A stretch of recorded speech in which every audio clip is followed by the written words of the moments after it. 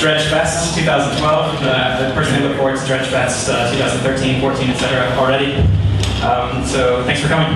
Um, my name is Jeff. I'm co-director of the space that you're in, and um, just by way of a quick uh, introduction to where you are, um, this is a place called Studio X NYC. Uh, it's an off-campus space run by the architecture department at Columbia. Um, we basically manage a kind of a downtown uh, location for the architecture department to host events, symposia, even office work uh, that would nor- normally not take place at the, area, which is uptown. And as such, we're kind of an interface between the, the general public and the architecture school, or vice versa. And um, we've been hosting a, a, lot of events over the, over the last year or so since we've Nicola and I have been co-directors. Uh, if you are interested in Dredge Fest and some of the other things that we've been doing, um, there's a sign-up sheet in the uh, lobby that you can use to put down your email and find out what we're doing. Um, other things that we have in store, uh, we've got a lot of good lectures and whatnot coming up in October, and um, and so on and so forth. So definitely keep in touch if, if you can. Um, so uh, yeah, today uh, this is a, an, event long in the making, and I'm, really looking forward to it. Uh, many of you might have been here several months ago when we had three of the four um, members of UC up at the tables here uh, for the Dredge Research uh, Collaborative, and uh, that was a great event. Um, we really kind of broad-ranging series of slideshows looking at um, artificial landforms, terrestrial engineering, um, to kind of hydrological activities under the guise of architecture and um, today promises to be more of the same. Um, so just by a quick introduction to, to who you're looking at, um, on my far right, far left for you is uh, Tim Maly. Uh, Tim is the, the, founder and a writer of a blog uh, called Quiet Babylon, as well as a, a journalist of Wired Design. And um, he's one of the, uh, the Dredge Research uh, Collaborative. Um, the, the, texting gentleman is Stephen Becker, uh, who's an architect based outside Boston, and um, was here presenting a couple months ago uh, and also is the co-founder of uh, Mammoth, uh, which is a really fantastic blog if you don't know. Um, next to him is Rob Holmes. He's the other half, uh, or I guess there's kind of a, a, silent third party somewhere in Mammoth who I've never met. But um, Rob is the other uh, co-author of, of Mammoth and uh, a landscape architect down in Virginia. And then finally, Brett Milligan, um, who was not here for the previous event, but um, I'm, I'm, personally excited to have met today. he runs a really fantastic blog called Free Association Design and uh, got a, a, an award from the, uh, or a grant from the Graham Foundation of Chicago to look at, um, I guess basically uh, uh, artificial um, engineering of the Cascade, the Klamath River out west. So um, yeah, with no further ado, I'll throw it over to the floor event. Uh, you're in for uh, about five hours of some uh, pretty awesome conversations, and it's really, really muggy. I know maybe I'm just because I'm speaking, I'm starting to sweat, but you guys get really hot. We can always turn on the air conditioners in between the in between the the panels, but for now it might be a little, it'll be a little sweaty. Also, there's some empty seats. I don't know if there's anyone sitting in there, but if you don't mind um, segueing through, there are places to sit, just to let you guys know that know. And um, so cool. Thanks a lot.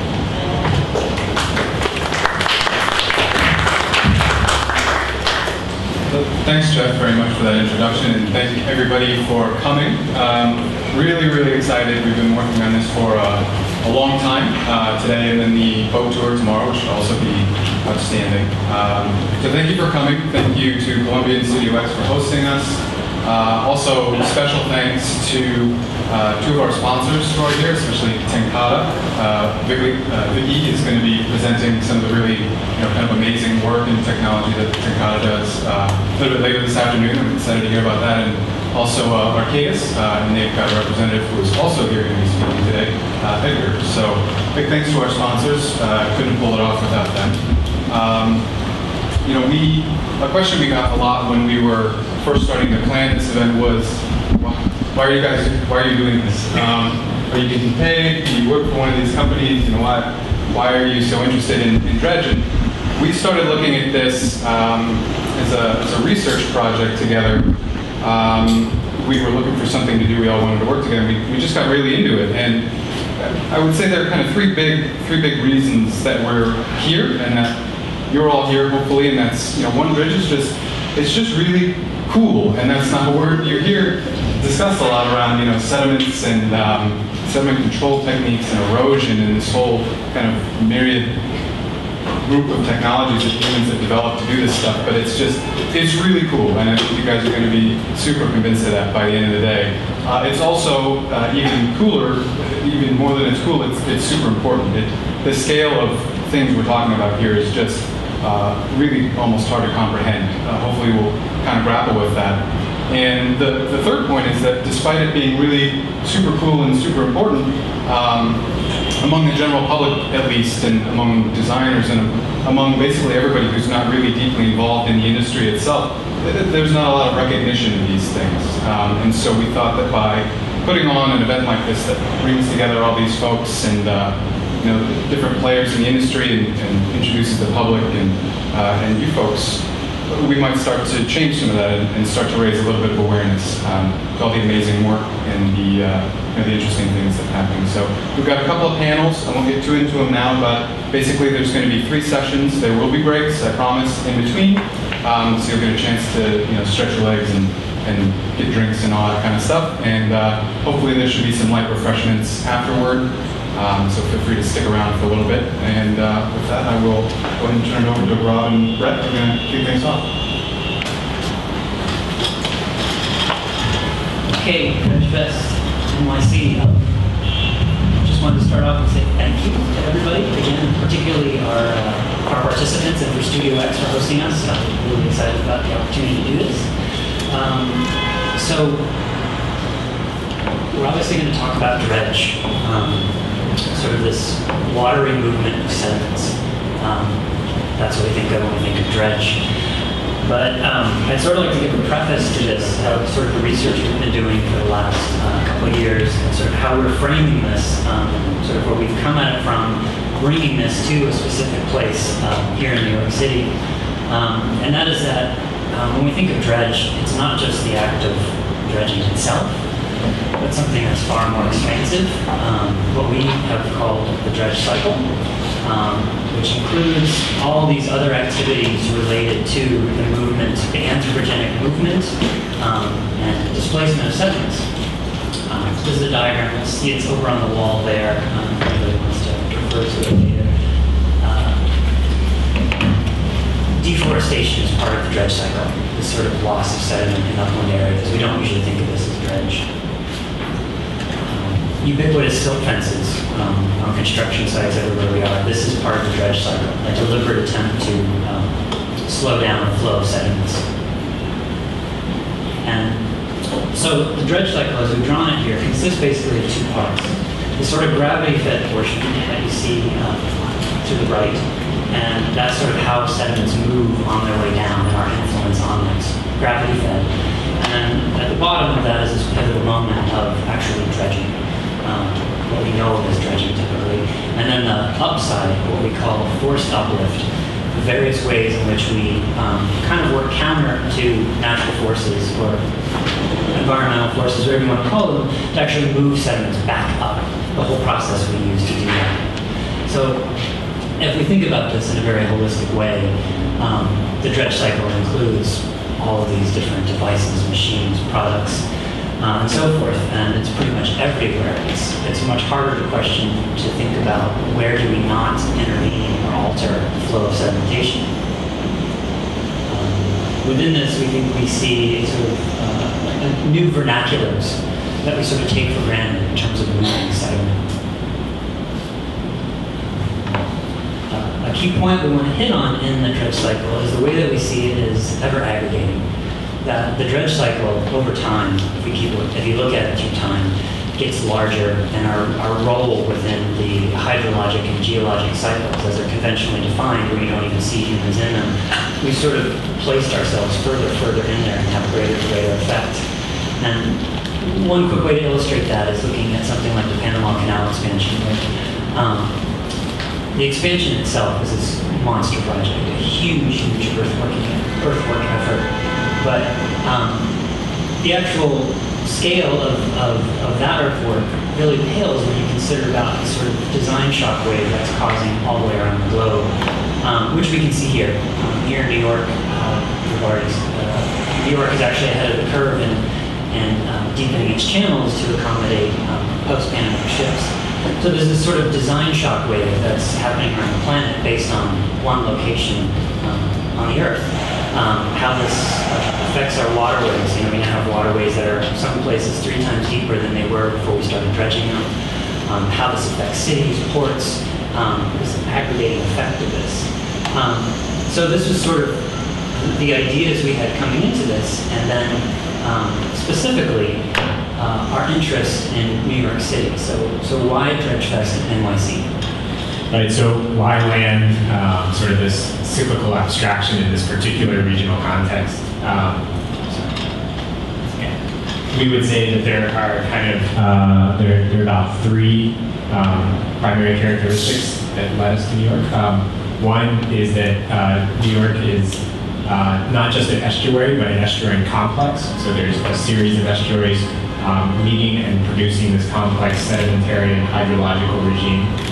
Um, and then overlaid on top of that, um, you have the scale of New York as a human system. Um, so one of the largest and most populous urban systems on the planet.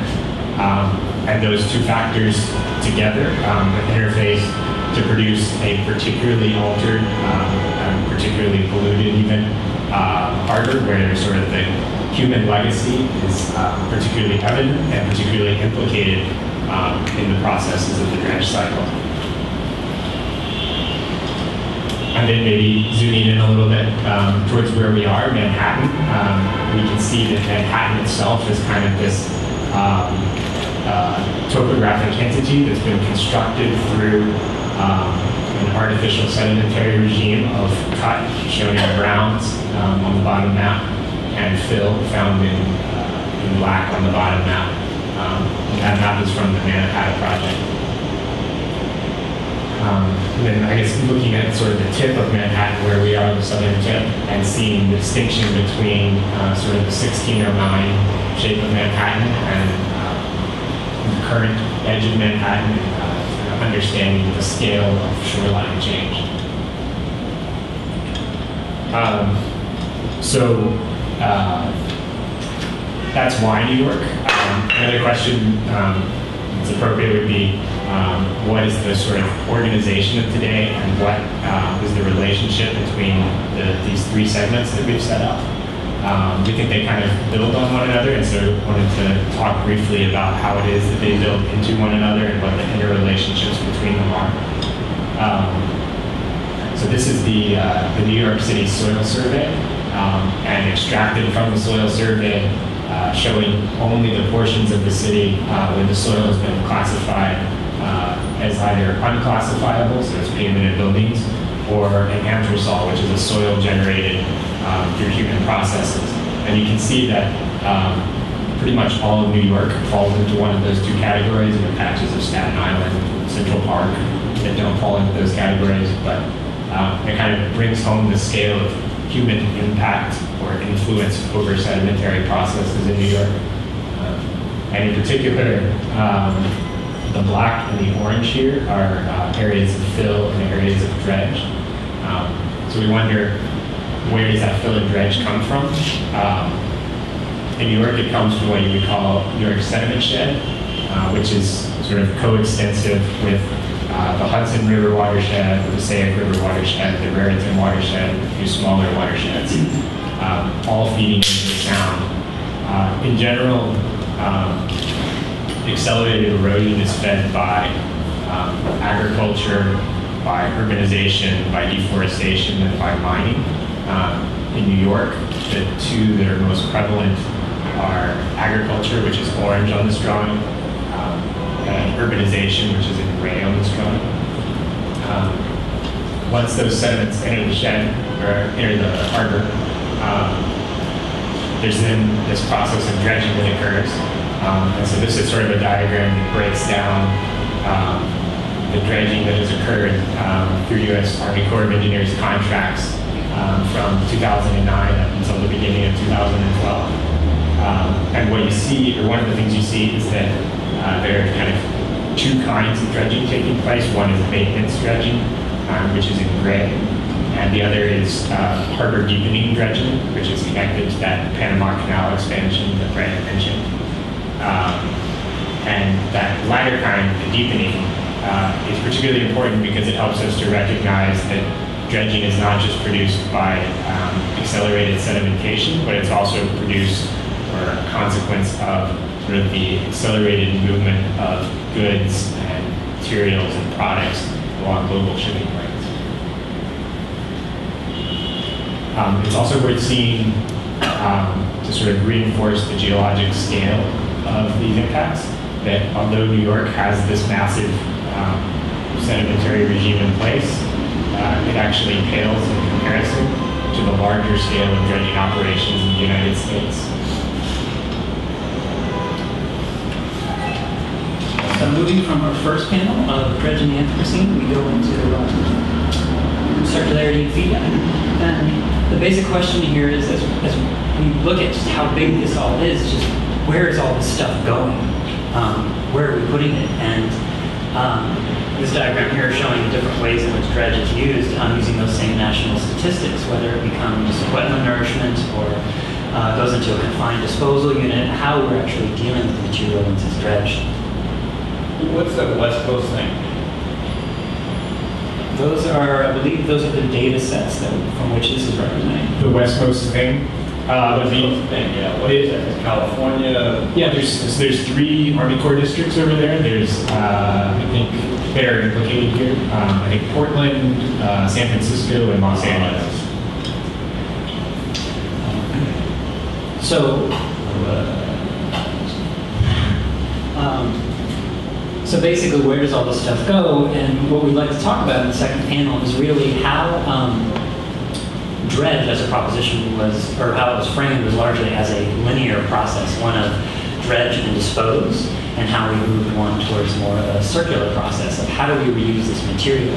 Um, what are the ways in which it can have beneficial uses? How do we think about it as a system rather than something that's just um, you know a disposal option? Um, so we think there's all kinds of really interesting um, exploration to be done there. Um, and when we say feedback, uh, we're also looking at sort of the longer historical trajectory. You know what we were thinking about 100 years ago versus what we're doing now. Um, and this is just again another illustration. This is Jamaica Bay. Um, this is one of the sites we'll be going to tomorrow in the harbor tour. And uh, this is what it looks like today. You can see the big JFK airport in the northeastern branch of there. And then um, this is showing an overlay of all, all the area ringed by orange shows area that was filled in. That used to largely be marsh. So huge transformation of what this used to be. And um, so by feedback, we're looking at how these things have changed. And both culturally and physically, where this is what was planned for um, Jamaica Bay around the turn of the 20th century, where we we're going to make it into a giant port. Um, this is kind of how we used to think about wetland areas, that we needed to make them productive rather than them actually um, being something that was productive. So we've now moved into an era where we're trying to change that, where we're altering things, where we're proactively trying to um, reinstall things we lost or processes we lost and trying to put them back.